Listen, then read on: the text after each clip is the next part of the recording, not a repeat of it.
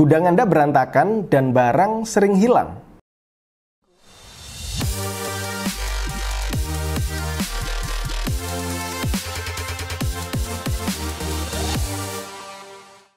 Halo Sobat The Consulting, jumpa lagi dengan saya Lukas Tiawan Kali ini saya akan membahas mengenai tiga tips bagaimana Anda untuk mengatur gudang di perusahaan Anda. Sebelum saya memulai penjelasan ini, jangan lupa untuk like, comment, dan subscribe video-video dari The Consulting. Karena kami secara konsisten akan memberikan edukasi-edukasi seputar bisnis yang tentunya bermanfaat untuk bisnis kalian semua. Oke, bicara mengenai gudang, ini adalah salah satu faktor yang sangat penting ya untuk menunjang suatu bisnis. Bayangkan bisnis Anda udah mulai berkembang, berkembang, udah semakin berkembang growth ya, semakin besar, semakin besar, semakin besar. Tentunya Anda membutuhkan satu ruang khusus untuk menyimpan ya semua barang-barang maupun persediaan Anda. Baik itu Anda yang di bidang retail ya, di bidang uh, distributor mungkin ya, manufacturer pun juga perlu yang namanya gudang. Mungkin yang nggak terlalu berimpact mungkin di area jasa kali. Ya. Tapi sekarang jasa pun juga banyak juga yang menjual tools-tools tertentu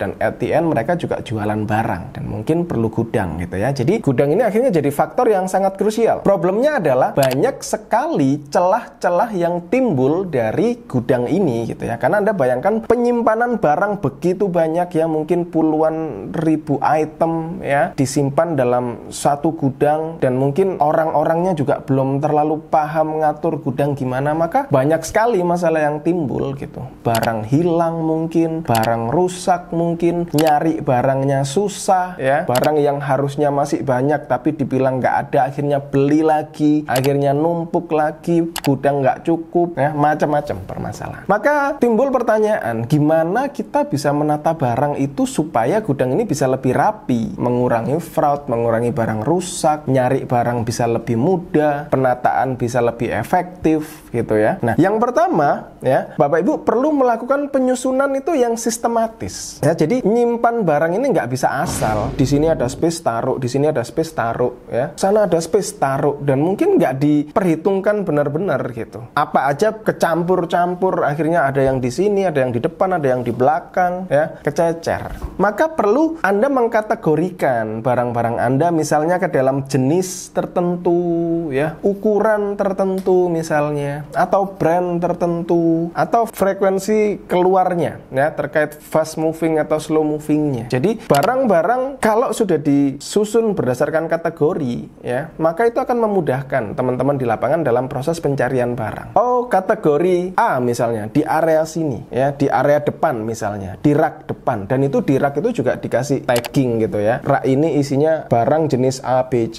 gitu ya. Rak ini isinya dan itu harus di satu lokasi khusus. Jangan barang jenis A ada di depan, ada di belakang kan sayang. Kecuali untuk display, it's okay. Tapi kalau untuk penyimpanan usahakan gunakan dalam satu ruang gitu ya. Dan kan gunakan rak gunakan rak. Jangan sampai nggak pakai rak. Itu akhirnya numpuk-numpuk jadi rawan rusak dan penyimpanan pun nggak bisa rapi gitu. Ya jadi lakukan penyusunan yang sistematis berdasarkan pengkategorian yang Anda rasa sesuai dengan bisnis Anda ya. Bisa berdasarkan jenis, ukuran ya, fast atau slow moving, macam-macam atau brand. Kemudian yang kedua, lakukan labeling yang jelas. Nah, labeling ini Bapak Ibu, labeling ini kaitannya bisa labeling ke barangnya ya karena sometimes barang ini juga nggak ada label, nggak ada ya, nggak ada apa barcode-nya misalnya. Itu hati-hati, itu bisa membuat kerancuan ya, terutama untuk barang yang kecil-kecil biasa biasanya. Ya kalau barang dari supplier yang udah gede mah enak, sudah ada label, udah ada uh, barcode-nya. Kemudian label yang kedua adalah label terkait rak. Yang tadi saya cerita di awal ada tagging labelnya. Jadi rak ini dikasih label. Oh, rak ini misal uh, rak A misalnya. Di dalam rak A ini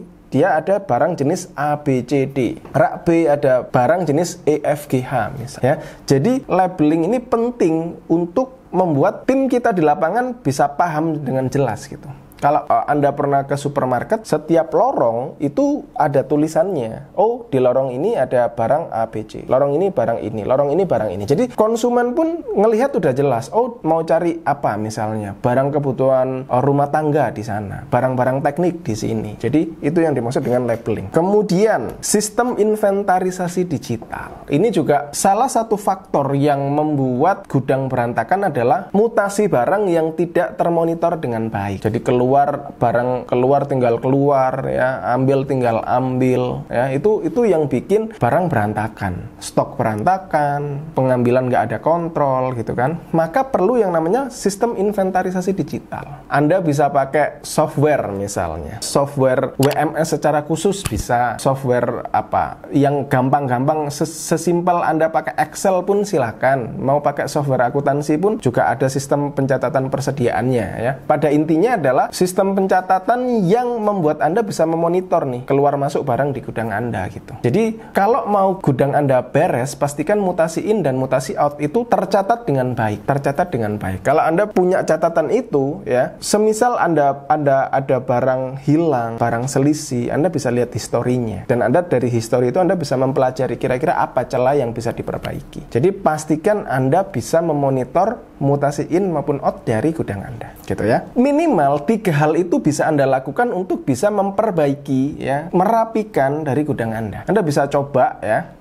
dan mungkin eh, langkah-langkah ini terhitung sederhana untuk bisa dilakukan, gitu ya. Dan kalau Bapak Ibu masih bingung misalnya detailnya seperti apa nih Pak, gitu ya. Kami dari The Consulting kami punya produk yang namanya Warehouse Management System. Ya, di dalam situ Anda dijelaskan benar-benar detail terkait gimana sih SOP-nya di dalam gudang, SOP terkait barang ini gimana sih keluar masuknya seperti apa, penerimaannya gimana, gitu ya. Kemudian teknis-teknis terkait tadi penyimpanan barang gimana, ya analisa barang slow fast movingnya gimana penentuan buffer stok ya. Kalau anda tidak pengen stok anda membeludak gitu ya anda perlu buat buffer stoknya jadi stok minimum stok maksimumnya seperti apa harus diatur ya. Nah hal-hal itu dijelasin di di di e-course warehouse management system itu. Dan itu di situ anda bisa belajar dari awal sampai detail gimana dalam menata gudang. Jadi harapannya dengan ikut kelas ini anda bisa mengatur gudang anda lebih rapi dan meminimalisir celah-celah yang ada dalam gudang anda gitu ya. Mungkin itu aja penjelasan dan info yang bisa saya kasih. Semoga Anda